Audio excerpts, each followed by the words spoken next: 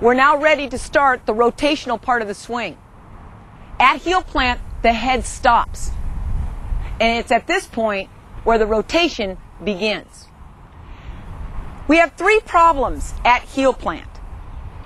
We have one player that lands with a straight front leg. We have another player that lands with a slight bend but prematurely locks out that front leg. And the last problem is we have a player at heel plant, their head never stops and they continue to float forward. We have a solution to these three problems.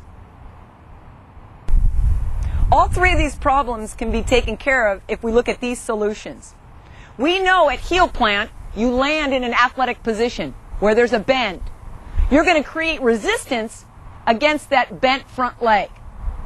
And it's actually the hips rotating that create that front leg straightening. So you land, your head stops, you keep a, a bent and create resistance off of that front side, and it's not until you rotate that the front leg straightens up. If you're an athlete that has a tendency to prematurely straighten that front leg, a good solution is to make sure that when you land in that athletic position, maintain that height as you create the resistance, the hips start to rotate, and it's your hips that take out the bend of that front side.